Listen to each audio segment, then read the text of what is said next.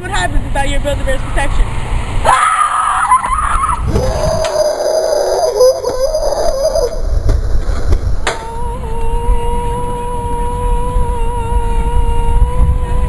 My cuddly furry friends have come to save me! Unless you want your kid to die.